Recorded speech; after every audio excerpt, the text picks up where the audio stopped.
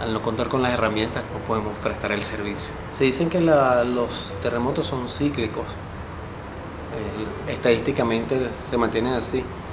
Lo importante es la capacitación a todas las personas. Actualmente sin que exista una tragedia nos cuesta la atención a las personas y a la comunidad de que ocurra esta eventualidad va a ser muy crítica. La mayoría de las estructuras en la parte de edificaciones es difícil.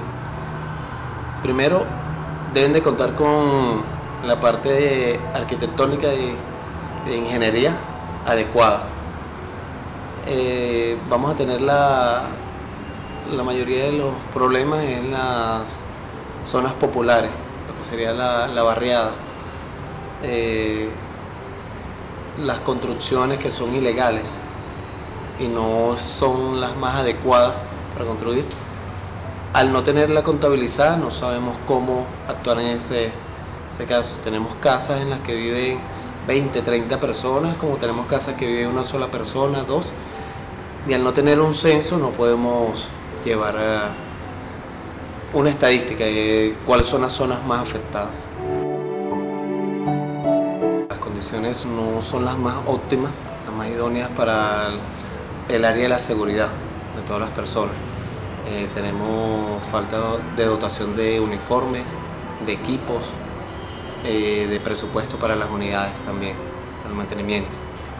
Trabajamos haciendo eventos más que todo para recaudar fondos nosotros mismos reparar las unidades.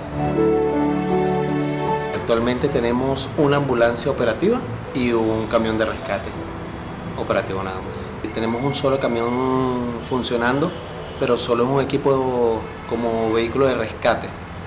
No, eh, a pesar de que es un equipo, de, un camión de incendio, para supresión de incendio. La bomba actualmente está dañada.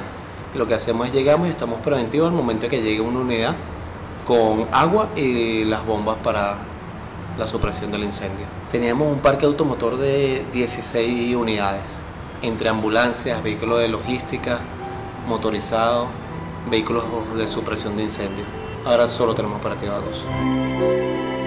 Unos 5 o 6 años para acá es que ha bajado el, el nivel de reparación de las unidades. A veces tenemos que apoyarnos entre varios cuerpos bomberos para la atención de, de las emergencias.